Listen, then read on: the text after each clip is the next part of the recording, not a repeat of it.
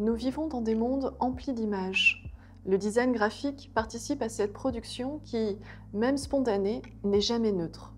Le designer réfléchit au sens et à la forme des images, de leur fabrication à leur diffusion. Il peut chercher à produire un effet particulier, informer, sensibiliser, convaincre, amuser ou parfois choquer. Apprendre à lire une image et essayer d'en identifier les intentions sous-jacentes, c'est se donner des moyens d'apprendre à en utiliser, mais aussi d'en créer, avec de meilleures chances de transmettre ce que l'on souhaite.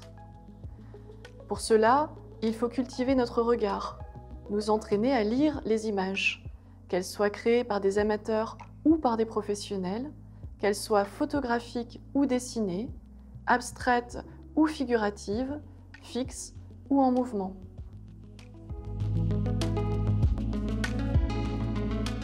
Mais au fait, pourquoi et comment les images nous parlent-elles? Disons que les images ont des effets immédiats sur nous.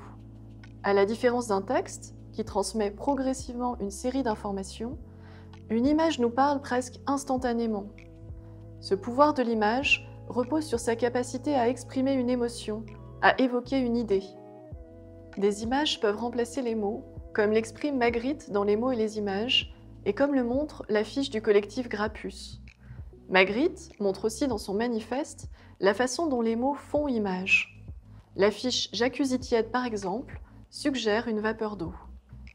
Voici trois exemples d'images mots, largement diffusées et parodiées. Le logo, dessiné par Milton Glaser, devenu iconique. Le slogan Je suis Charlie, avec sa typographie caractéristique. Et le bouton like de Facebook. Ces images sont des signes. Un signe se décode et se partage. Il possède une signification connue. Il est facilement possible de l'interpréter ou d'en deviner le sens. Pour mesurer la capacité d'une image à transmettre un message, observez cette composition d'images. Toutes ces images représentent le même objet. Pourtant, nous observons une différence essentielle entre elles, leur rapport à la réalité. C'est ce qu'on appelle le degré d'iconicité ou degré de réalisme d'une image, défini par Abraham Moles. Plus le degré d'iconicité d'une image est grand, comme dans la photographie en couleur de la pomme, plus elle ressemble au réel. Plus le degré d'iconicité est faible, comme dans le logo d'Apple, plus l'image s'éloigne du réel. Lorsqu'on simplifie une représentation du réel, l'objet initial perd son iconicité. L'image peut même devenir un signe graphique abstrait, comme le montre l'évolution du logo vague ou virgule de Nike et la disparition du nom de la marque. Le logotype de Jean Villemer pour le Centre Pompidou possède au contraire, malgré son abstraction, une forte analogie avec le bâtiment. C'est un condensé visuel de la façade, très reconnaissable. Ces logotypes sont des images synthétiques, facilement décodables. Le public possède les clés pour comprendre ces signes graphiques sans avoir à les apprendre.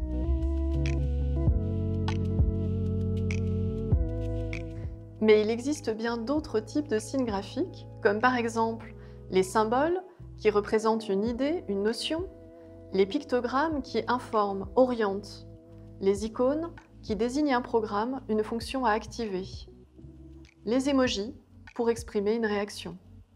Certains signes cherchent à parler à tous, à créer un langage visuel universel. Pour en donner un exemple, Margaret Calvert et Jock Kinner ont repensé toute la signalétique des routes du Royaume-Uni entre 1957 et 1967.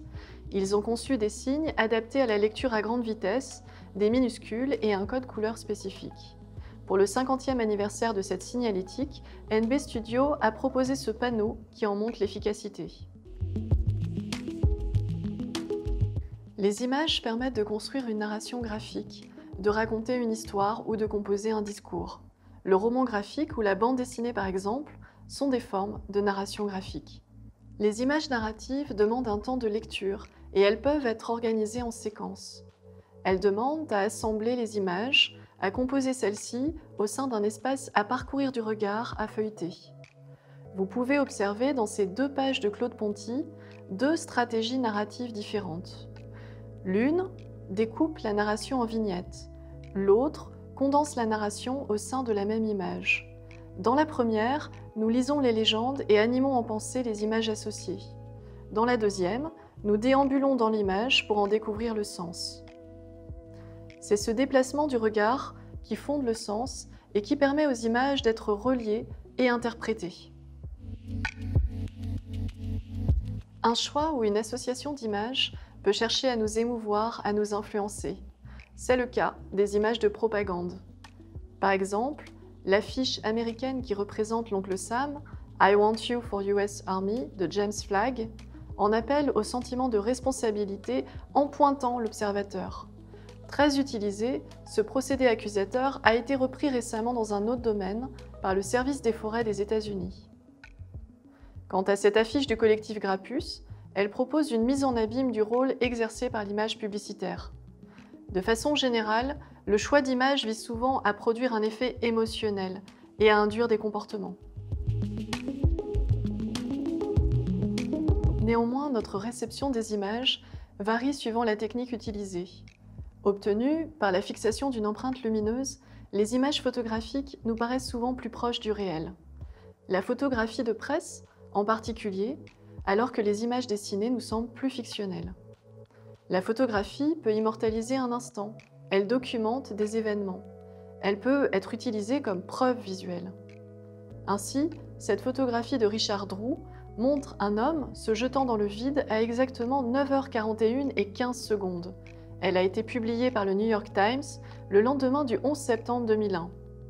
Parmi une série de 12 photographies, l'image choisie montre cet homme comme suspendu pendant sa chute mortelle d'un gratte-ciel.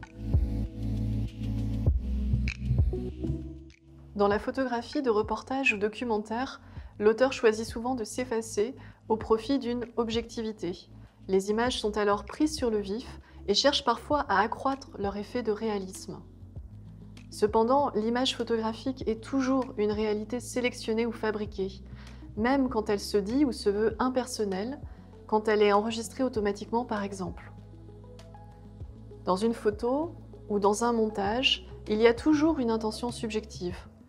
Les choix techniques ou humains correspondent à un point de vue, c'est-à-dire à la volonté de privilégier tel aspect du réel. Elle propose ce point de vue aux spectateurs qui les regardent. Toute image est une construction qui doit éveiller notre sens critique.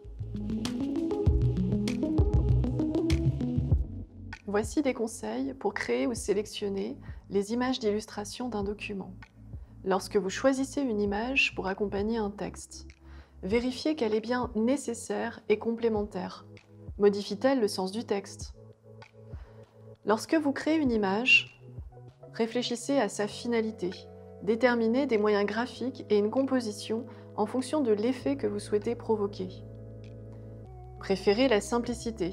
L'image la plus parlante est souvent la moins bavarde. N'hésitez pas à simplifier votre image. Et enfin, restez spontané. Quel que soit l'effet recherché, une image prise à l'improviste peut être très étonnante. C'est le plaisir de la trouvaille graphique.